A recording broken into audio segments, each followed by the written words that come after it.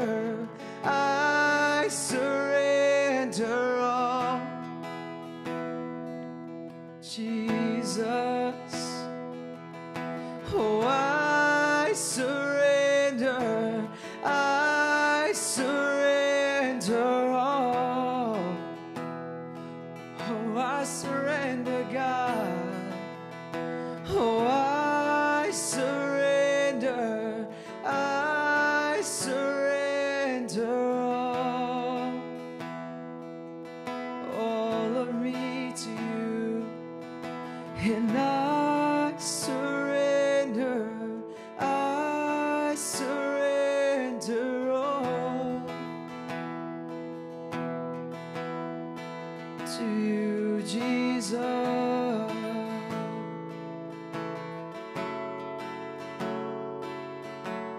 It's not by power nor by might, but by my Spirit, says the Lord. Everything that is spiritual can only be accomplished by the Holy Spirit. Psalm chapter 80, verse 18 says, So will not go back from thee Quicken us, and we will call upon thy name. Quicken us, and we will call upon thy name. The Lord had to quicken them before they could call upon him. Prayer is by the Holy Spirit. I'm not saying that you cannot, by your own decision, approach your Father. I'm not saying that there are times when God will ignore you. But what I am saying is that every desire in you that is spiritual, including the desire to pray, is from the Holy Spirit. Your flesh does not desire to pray. The enemy does not desire you to pray. Only the Holy Spirit can cultivate the desire within us to do things that are spiritual and that connect us with the Heavenly Father. Quicken us, and we will call upon thy name. Lord, quicken me, and I will call upon thy name. Quicken me, and I will seek your face in prayer. That hunger, that desire, that passion to connect with something divine, to connect with Jesus, to know him, that is from the Holy Spirit. He put that desire within you. Every time you desire to pray, it's because the Holy Spirit put that desire within your heart. It's because the Holy Spirit is fellowshipping with your spirit and causing those desires from the inner man to manifest upon your everyday life. Prayer is a spiritual act. It cannot be done in the flesh. It cannot be done by emotion. It cannot be done by human effort. And what begins in the Spirit must remain in the Spirit. You cannot begin by faith to pray and then continue in doubt. You have to continue in the Spirit by the Spirit. 1 Corinthians chapter 2 verse 14 says, "But people who aren't spiritual can't receive these truths from God's Spirit. It all sounds foolish to them, and they can't understand it, for only those who are spiritual can understand what the Spirit means. You and I, the children of God, are the only ones who can understand and receive from the Holy Spirit. And until that miracle of salvation takes place within us, until one is born again, he cannot truly pray. He cannot truly connect with God. We cannot rely upon our efforts. We cannot rely upon our intellect. We cannot rely upon our willpower, our discipline. We must rely upon the Holy Spirit. It's more than just discipline, it's more than just willpower that brings about the consistency of prayer. It is total reliance and surrender to the Holy Spirit reliance upon and surrender to the Holy Spirit. Exodus chapter 33, verse 15, the scripture says, Then Moses said, If you don't personally go with us, don't make us leave this place. In other words, Lord, if your presence isn't with me, I don't want to go. If your presence doesn't lead me, I don't want to follow. You see, Prayer keeps us on track. It maintains our spiritual state and helps us to avoid the regression in the flesh, avoid that regression in the sin nature. Prayer, daily prayer, moment by moment prayer, living in a constant awareness of the presence of the Holy Spirit is what keeps us close to God. Jesus said, I am the vine, you are the branches. Without me, apart from me, you can do nothing. And so prayer is that clinging to, prayer is that depending upon God. God is not as interested in using powerful methods as he is in using mighty men.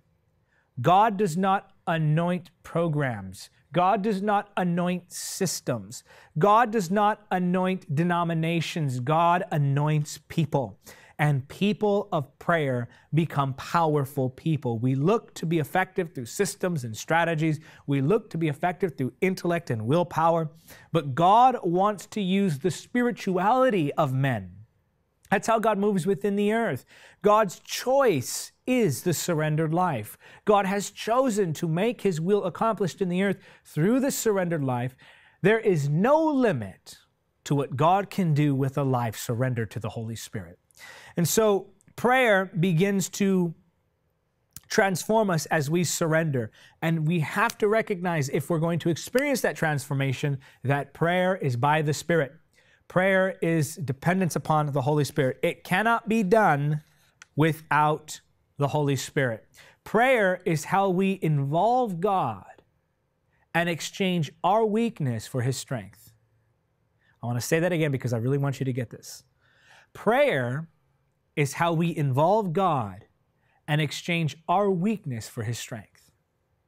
You know that you're not depending upon God when you don't have a prayer life. Choosing to pray, choosing to respond to the desires that the Holy Spirit placed within you, is how you prove that you're dependent upon God.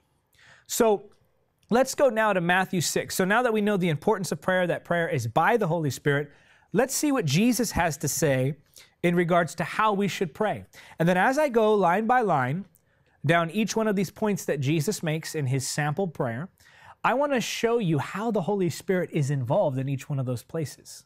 So Jesus tells us pray like this, and then I'm going to show you from Scripture how the Holy Spirit interacts with us to enable us to truly pray how Jesus is telling us to pray. This is I, I when I saw this in Scripture, I became excited because I had never really thought about this, but I'm glad now that I've been studying this and the Holy Spirit's shown it to me. I want to show it to you. I'm excited about it, okay? Go to Matthew chapter 6, and let's just read the whole context just so we have uh, more of the teachings of Jesus in here. Matthew chapter 6, verse number 5. When you pray, don't be like the hypocrites who love to pray publicly on street corners and in the synagogues where everyone can see them. I tell you the truth, that is all the reward they will ever get. But when you pray, go away by yourself, shut the door behind you, and pray to your Father in private. Then your Father who sees everything will reward you. When you pray, don't babble on and on as people of other religions do. They think their prayers are answered merely by repeating their words again and again. Don't be like them, for your Father knows exactly what you need even before you ask Him. So Jesus there is not saying that we shouldn't necessarily repeat prayers given to us by men, but he's saying don't repeat them just for the sake of the repetition. He's talking about sincerity there. Now, I know this because Jesus gives us after that an example of how we should pray. And so if I say pray after me, I'm not necessarily causing you to commit the type of repetition that voids prayer of its power. I'm talking about the repetition that you can take for lessons' sake, just as we find in Jesus' prayer. And as long as you're praying that sincerely, then it's not the babbling to which Jesus is referring. Instead, Jesus is saying, don't babble insincerely. Don't talk just to the air. Don't just say a mindlessly, but truly connect with God, truly seek Him. Jesus also just told us, He said, to go away privately. Now, this is a whole entire lesson upon its own we talk about silence and stillness. You've heard me talk about that many times, but that is very important. That's not what we're addressing today.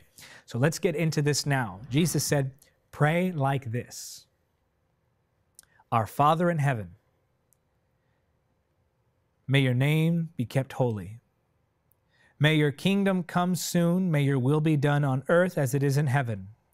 Give us today the food we need, and forgive us our sins as we have forgiven those who sin against us. And don't let us yield to temptation, but rescue us from the evil one. There is so much in this prayer. It already begins with Our Father in heaven, our, our Father who art in heaven. Hallowed be thy name. Thy kingdom come, thy will be done, on earth as it is in heaven. Give us this day our daily bread. So there's the different versions of it, but this one I think is clearer, the NLT. And if you like that other version, that would be from the King James Version. If you're reading that from the King James Version, you'll notice it's different than what I'm reading here. But I want to focus in on the message here. Our Father in heaven, he says, Our Father. Not my Father, he says, Our Father. And as you'll learn from looking at the rest of this portion of Scripture, Jesus is emphasizing unity in these portions of Scripture. I think of Matthew chapter 5, verse 24, where the scripture tells us that if you go take your gift to the altar and then remember that your brother has an offense against you, leave your gift at that altar and go make things right with your brother. In other words, don't even participate in the worship if you have something between you and a brother. Think of Matthew chapter 18, verse 19, where the scripture tells us that if any two touching anything shall agree will be done for them. There is power in unity. Our Father, not my Father. This is praying from the proper perspective. This is praying from the mindset of unity. This is praying in oneness. If I am one with God and you are one with God, then we are one with one another. Our Father, not my Father, our Father. Remember this praying in unity isn't just praying together. Praying is un- in unity is praying without offense in your heart. I'm going to say that again. Praying in unity isn't just praying together. Praying in unity is praying without offense in your heart. Galatians chapter 3, verses 26 to 28 say, For you are all sons of God through faith in Christ Jesus. For all of you who were baptized into Christ have clothed yourselves with Christ. There is neither Jew nor Greek, there is neither slave nor free man, there is neither male nor female, for you are all one in Christ Jesus. We are one. How is that unity brought about? How are we to pray in that unity? Our Father. I'm praying with a collective sense of oneness. I'm praying with a collective sense, knowing that I am not just united with God, but I am united with my brothers and sisters in Christ. That's power. When you are joined together as the children of God, when we as the children of God pray from a place of unity, there is power. This doesn't mean that you can't have private prayer. This just means that when you do pray, make sure there is no offense in your heart against your brother or your sister. Make sure you're praying from the collective sense, knowing that you are lifting your desires, you are lifting your prayers to God, and so are others. So, our Father, Ephesians chapter 4, verses 1 through 3, tell us this. Therefore, I, a prisoner for serving the Lord, beg you to lead a life worthy of your calling, for you have been called by God. Always be humble and gentle. Be patient with each other, making allowance for each other's faults because of your love. Make every effort to keep yourselves united in the Spirit, binding yourselves together with peace. The Holy Spirit is the one who unites the brethren. The Holy Spirit is the point of oneness for all of the brothers and sisters in Christ. The Holy Spirit is the one who threads all of us to create one masterpiece. The Holy Spirit brings that unity. The scripture says, make every effort to keep yourselves united in the Spirit. Our Father, not my Father, our Father. This doesn't mean you can't address him personally. This simply means, as I've said before, that you must pray with a collective sense of unity and pray without offense in your heart. Our Father. Next, he says, Father, our Father who art in heaven, our Father in heaven. This has to do with knowing your identity. So, all of this, actually, our Father who art in heaven, that whole phrase right there has to do with knowing your identity. I know that I am one with my brothers and sisters in Christ, and I know who my Father is. You know, prayer only works when you pray by the Spirit through faith. Do you know how much time you could save in prayer if instead of begging God to hear you, you simply believe that He already did? Stop begging God to hear you. Stop beating yourself over your head with past mistakes. Stop letting fear grip your heart and instead pray from the place of relationship. Pray from the place of sonship. We start as sons and daughters. We don't pray so that we can become sons and daughters. We pray because we are sons and daughters. We have access because of identity.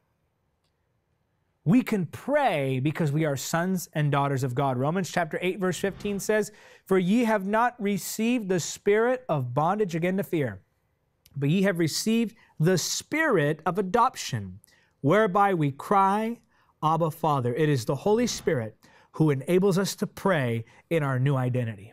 It is the Holy Spirit who I would say convicts, but people too often um, equate the word convict with sin.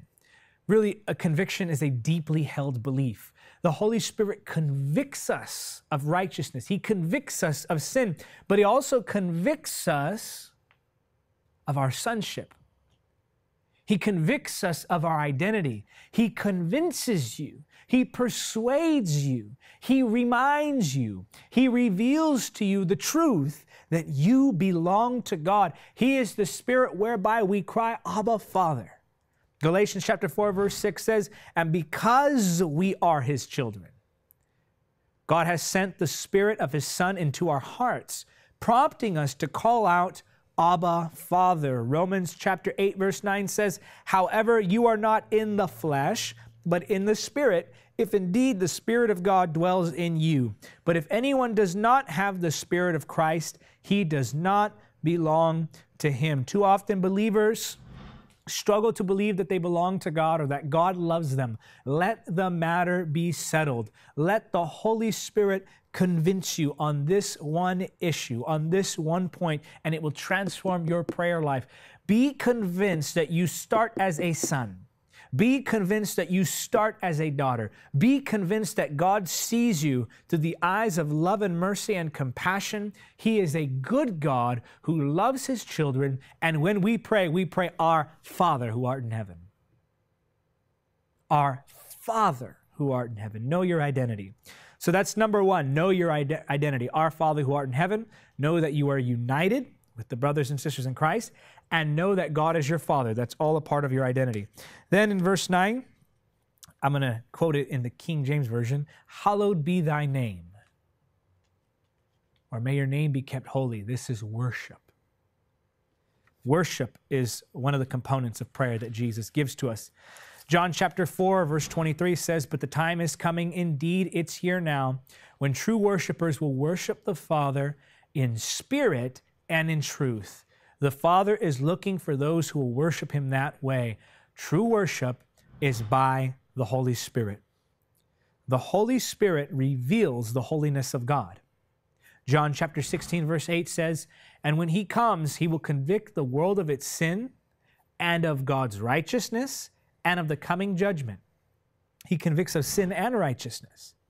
He gives us deeply held beliefs for both of those things.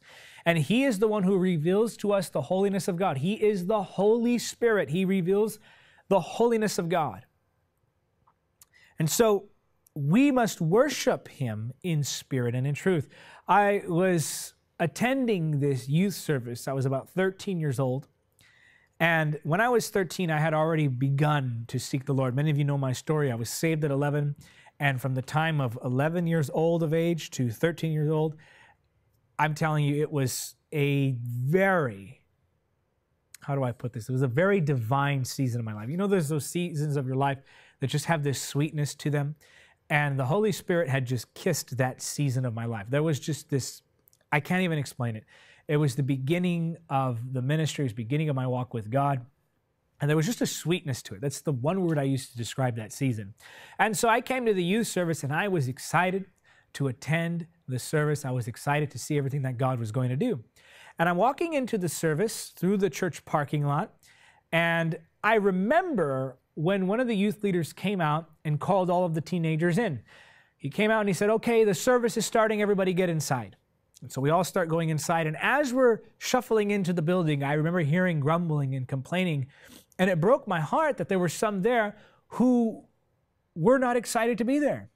And I thought, don't you realize that we're about to go into the presence of the Lord? And I had so enjoyed the presence of the Holy Spirit that the services that I attended for me were just they were just next level for me. I'm telling you, it all depends upon how you go to church, not just, you know, what the church brings to you. And so I go into the service and we're worshiping and the worship team's playing and I'm looking around the room. And I see that there are only a few of us worshiping. I saw some people standing there, they had their hands in their pockets.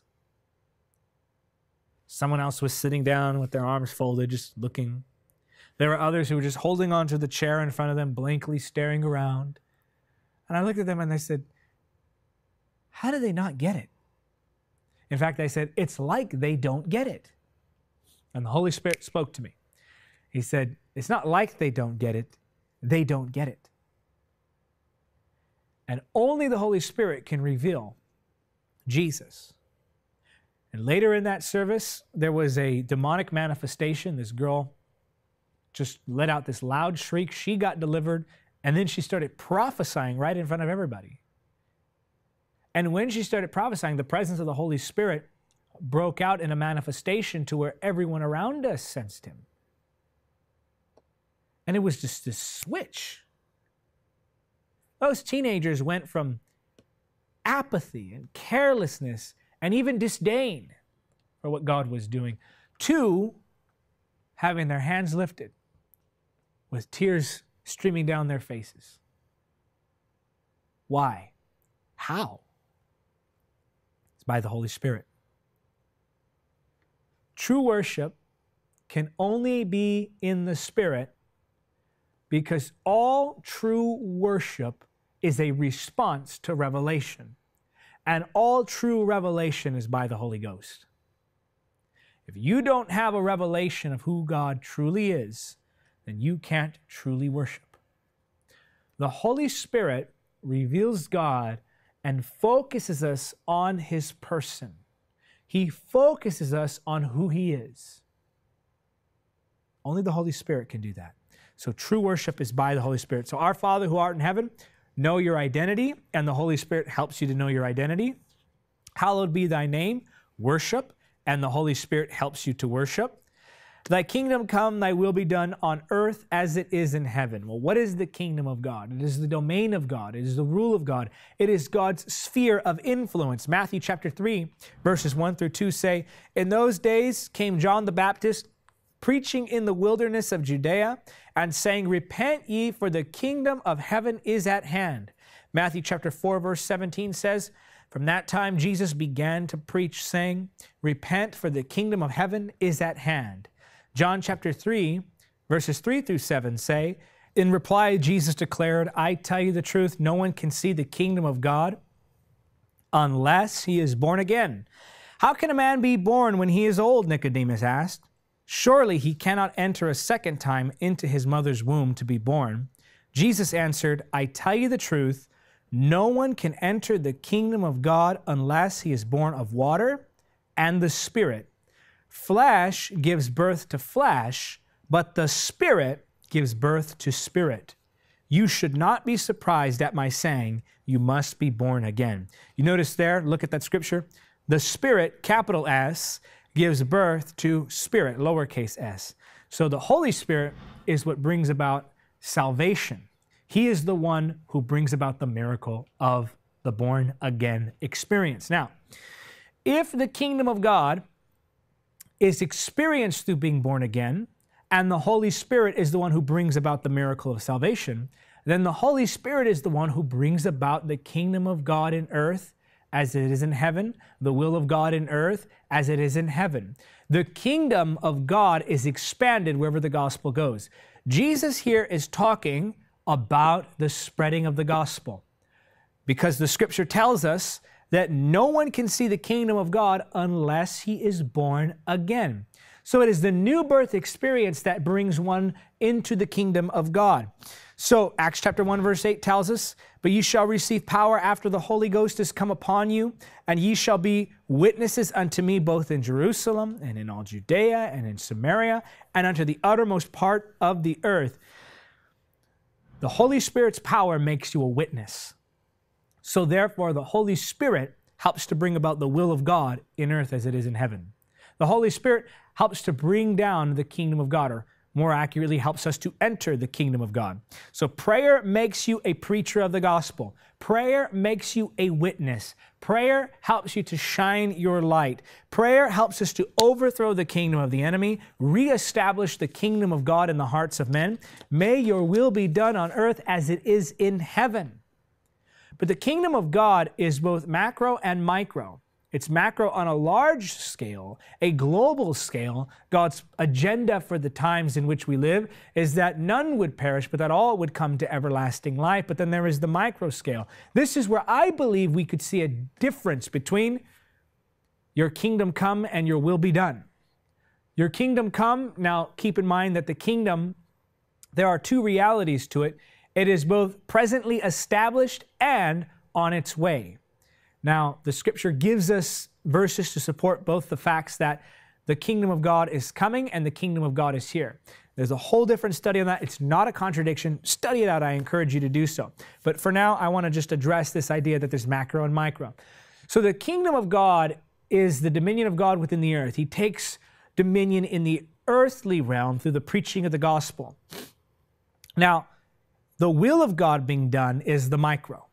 So, the macro is the kingdom of God being established on a global scale, and the micro is the will of God being done in your life. So the kingdom is a culture that we enter, a dominion that we enter, but the will of God is something we live. People enter the kingdom, but God's will enters people. The kingdom is something we enter, the will of God is something that enters us. The kingdom is established once and for all within our hearts, but the will of God must be obeyed daily. So there's our will. 1 Peter chapter 2 verse 4 tells us, "You won't spend the rest of your lives chasing your own desires, but you will be anxious to do the will of God, not chasing our desires, but chasing God's desires." And this is the ultimate way that we can establish the kingdom of God, the will of God in earth as it is in heaven, is we allow the will of God to be established in our own lives. We establish the kingdom of God through the preaching of the gospel, and we establish the will of God through obedience by the Holy Spirit. The Holy Spirit empowers the preaching of the gospel, and the Holy Spirit helps us to overcome the flesh. Galatians chapter 5, verses 24 through 25 say, Those who belong to Christ Jesus have nailed the passions and desires of their sinful nature to his cross and crucified them there. Since we are living by the Spirit, let us follow the Spirit's leading in every part of our lives. Romans chapter 8, verse 9 says, However, you are not in the flesh, but in the Spirit, if indeed the Spirit of God dwells in you. But if anyone does not have the Spirit of Christ, he does not belong to him. Prayer makes you one who establishes the will of God. Prayer makes you sensitive to the will of God. Look at this verse here Psalm chapter 119, verse 36. Incline my heart unto thy testimonies and not to covetousness. Psalm chapter 51, verse 12. Look at this. Restore to me the joy of your salvation and make me willing to obey you. Just before that, in verse 11, he says, Don't take your Holy Spirit from me. It is by the Holy Spirit that we receive the desire to do the will of God. It is by the Holy Spirit that we crucify the flesh. We die daily. 1 Corinthians chapter 15 verse 31 says, "I protest by your rejoicing which I have in Christ our Lord, I die daily." We must allow the will of God to be done in our lives and through our lives. We must allow the kingdom to be established through the preaching of the gospel and the will of God to be established in our lives through our obedience to his word. Then Jesus says, Give us today the food we need. These are your prayer requests. Now, let me emphasize this here. It is not wrong to make prayer requests. The scripture says in Philippians chapter 4 don't worry about anything, instead, pray about everything. Tell God what you need and thank Him for all He has done. Then you will experience God's peace, which exceeds anything we can understand. His peace will guard your hearts and minds as you live in Christ Jesus. Now, look at that verse again. I want you to see it on the screen. Don't worry about anything, instead, pray about everything. Tell God what you need and thank Him for all He has done. So, right there, we see two things let prayer replace worry. And then, number two, you can tell God what you need while still being thankful for what you have. Just because you present a prayer request to God doesn't mean that you're ungrateful. You can do both. The scripture tells us to do both. Then we read this popular scripture in verse 7.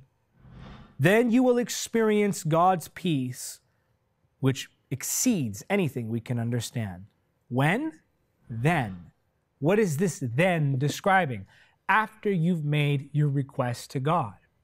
It is a good thing to make your prayer request known to God because then he can fill you with his peace. 1 John chapter 4 verse 18 tells us that perfect love casts out all fear. Romans chapter 5 verse 5 says, "And this hope will not lead to disappointment, for we know how dearly God loves us because he has given us the Holy Spirit to fill our hearts with his love."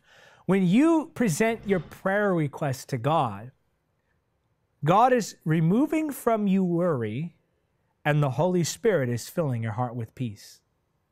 So the prayer request is not wrong in and of itself. It's a good thing. It's good to make your needs known to God. Give us this day our daily bread. It's a it's a need of the body. It's a physical earthly need. It's a prayer request. That's okay to pray that.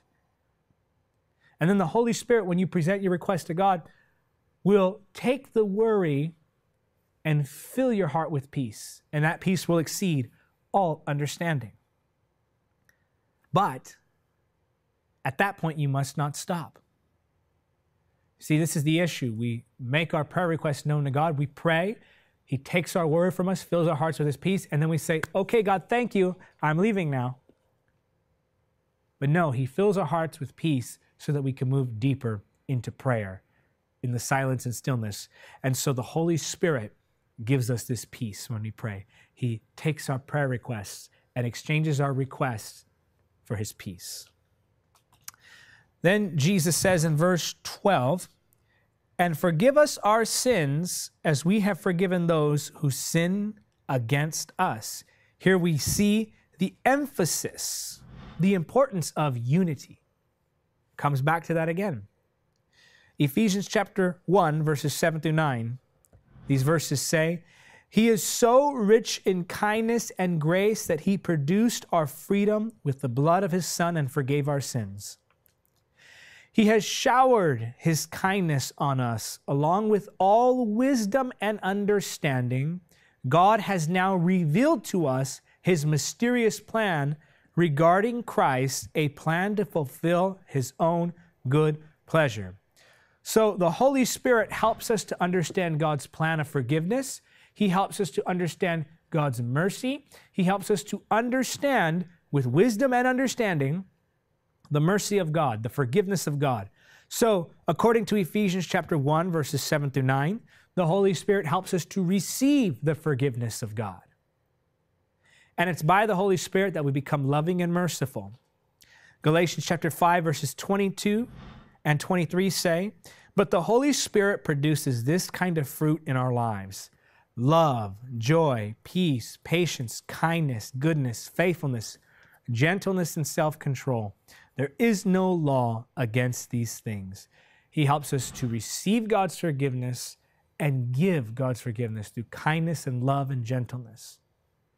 And so the Holy Spirit is present every step of the way. And then finally, in verse 13, Jesus says, And don't let us yield to temptation, but rescue us from the evil one.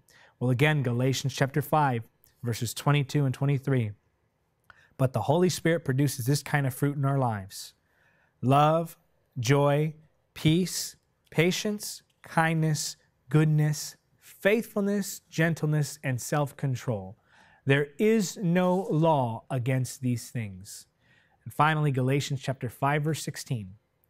So I say, let the Holy Spirit guide your lives. Then you won't be doing what your sinful nature craves. So let's recap now Matthew chapter 6. We'll go from verse 9 all the way down to verse 13. Pray like this Our Father in heaven. It's knowing your identity as it relates to God and as it relates to our brothers and sisters. And the Holy Spirit helps you to maintain the unity of the brethren. And the Holy Spirit helps you to know your identity in Christ, to know that you are a child of God, to cry, Abba, Father. May your kingdom come soon. He, the Holy Spirit helps us to preach the gospel, establishing the kingdom of God. May your will be done on earth as it is in heaven. The Holy Spirit helps us to experience the will of God on a personal level within our own lives through empowering us by the grace of God. Verse 11 Give us today the food we need. The Holy Spirit will hear your prayer requests, and when you pray those prayer requests, the Holy Spirit will take the worry and fill your heart with peace. And forgive us our sins as we have forgiven those who sin against us. The Holy Spirit helps you to receive the forgiveness of God by understanding the mystery of Christ and understanding the kindness of God.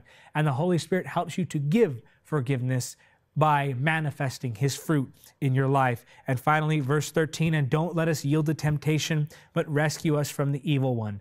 When the Holy Spirit guides your life, you won't fulfill the desire of the flesh. The Holy Spirit helps you to pray. Now, that, I think, is good revelation from the Holy Spirit. He is the one who is present with us. Now, let's pray that He would come alongside you now and help you that He would help you to pray. Come on, let's believe. Father, in Jesus' name, I pray for that one watching, Lord, who desires to have you move in their prayer life. I pray, Father, that you would help them to surrender, help them to acknowledge the Holy Spirit. Lord, we thank you for our teacher, our comforter, our encourager the precious Holy Spirit. And I pray, Lord, now that your presence would envelop that one watching, that one listening, that you would give them an unction to pray, a desire to pray. Help us, Holy Spirit. Guide us. In Jesus' name we pray. Amen. I want you to say it if you agree, say amen. I want to welcome now the new members of Spirit Church. There you are up on the screen. Look to see your name. We love you. We are praying for you. Remember, I always say that because I always mean it.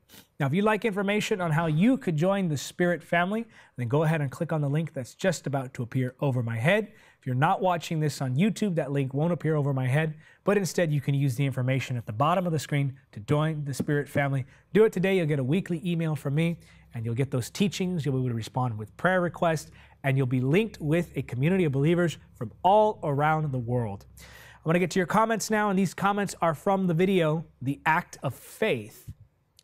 The first commenter writes I thank God for using you, Brother David. I pray for you all days and what you represent family, team, ministry, etc. My desire is that God would open all doors to you. I'm so glad I heard this message. I will take my act of faith. Amen. Well, amen. You step out and you watch God move. Remember, I asked you, what waits for you on the other side of the act of faith? Another commenter writes, Thanks, man of God, for teaching us about faith.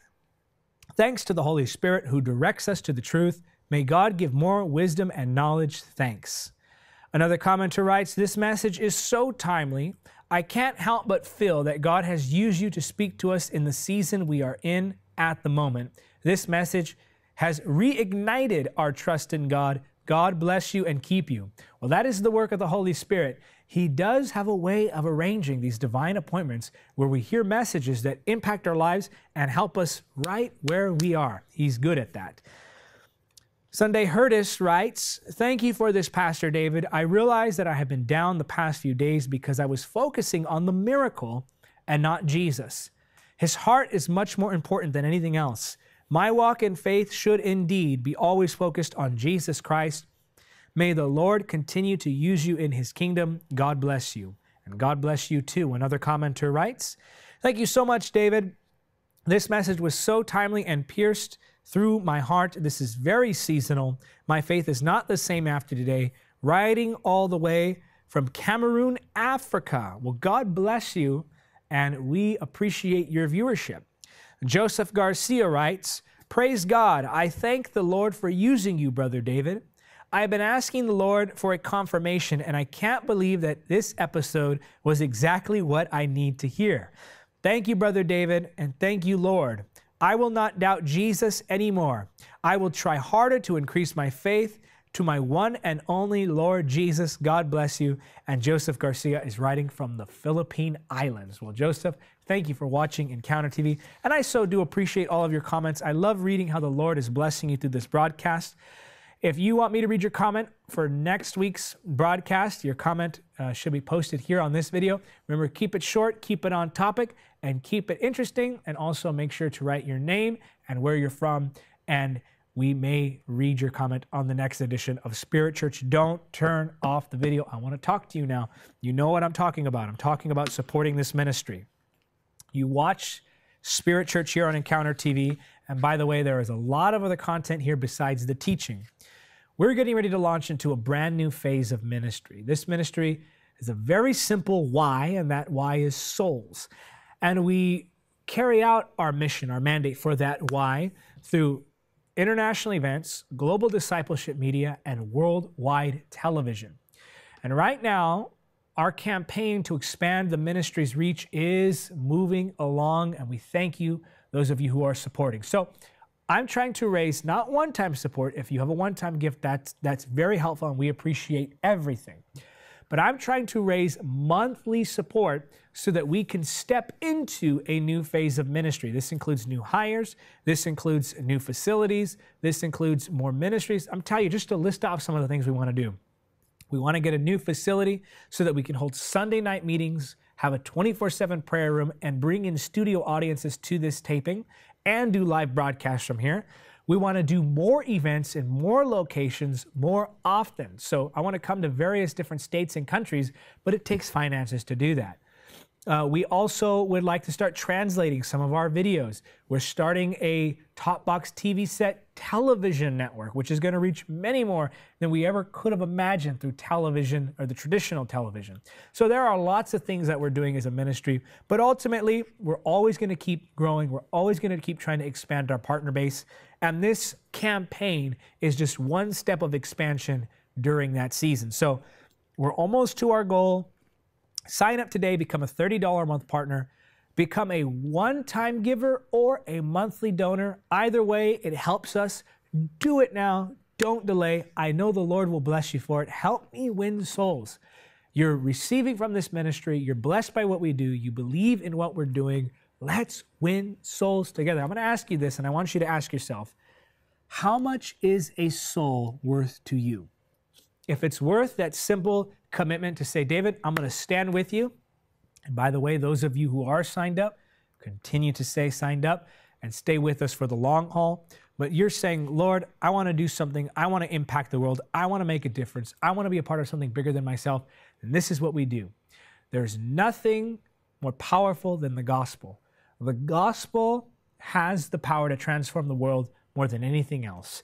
And so do that today become a monthly donor, or give a one time gift. Help us expand.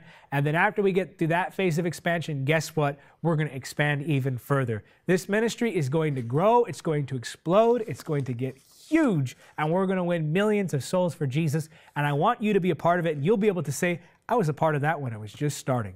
So sign up today. Do not wait to do that. Well, that's it for this edition of Spirit Church. Until next time, remember, nothing is impossible with God. Hey, what's up, guys? Thank you so much for watching Encounter TV. My name is Steven Moctezuma, and I want to encourage each and every one of you to subscribe to Encounter TV. Encounter TV features hundreds of videos that will help you draw closer to the Lord. We feature worship, miracles, teachings, and so much more. Encounter TV, experience the power and the presence of the Holy Spirit.